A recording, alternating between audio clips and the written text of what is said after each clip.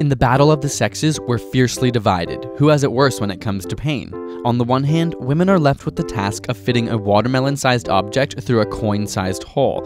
On the other hand, males protest that even the slightest nick of their family jewels can leave them incapacitated. So, which hurts more, childbirth or getting kicked in the balls?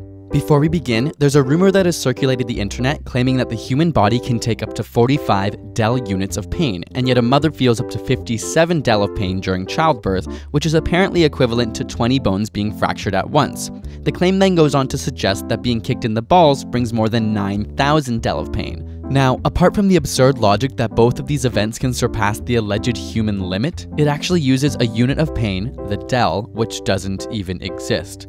There is a unit of pain once devised called the dol from the Latin word for pain, dolor, but we'll discuss this later. To really evaluate this question, we first need to understand what pain is, which isn't an easy task. There's actually a group of specialized nerve cells in your body called nociceptors that react to pain. Unlike other nerves which readily fire in response to normal touch or temperature, nociceptors will only fire once a certain pain threshold has been passed. Some of these nociceptors respond quickly, sending signals to the spinal cord and brain, which produce sharp and sudden pain, allowing you to react quickly, while others transmit more slowly and are responsible for the prolonged, dull ache you feel. For males, testicles are internal organs that have migrated out of the body cavity, which we explained in a previous video you can check out here. And while some internal organs such as the liver feel no pain, others, like the testicles, are covered with many nociceptors, making them extremely sensitive. After all, their well-being is of the utmost importance. Furthermore, the testicles are attached to many nerves in the stomach, as well as the vagus nerve, which is directly connected to the brain's vomit center, and this is why when hit, the pain spreads throughout the abdomen. The fact that testicles have minimal protection only strengthens the accompanying symptoms of nausea, increased blood pressure, heart rate, and sweating. But not so fast, gentlemen. Even though childbirth may not be facing a direct blow to any internal organs, the mechanical distension of the uterine area also triggers nociceptors and causes the same kind of visceral pain.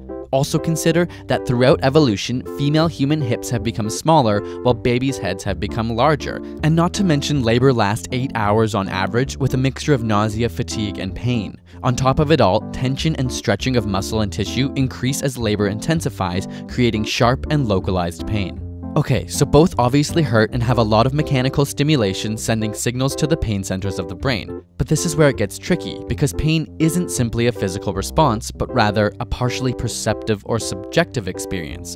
This means that every single individual perceives pain in a slightly different way. And not only between individuals, but depending on your mood, alertness, or even previous experience, pain may affect you differently.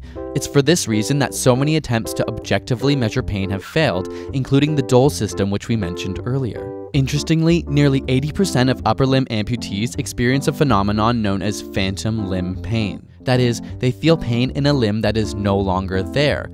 And while little is understood about the mechanism for this pain, it's clear that there is no particular input to trigger the response, and yet they still feel a very real pain. As such, pain is not a stimulus, it's an experience that's different for everybody. Suffice to say, both instances of childbirth and getting hit in the balls can hurt a lot.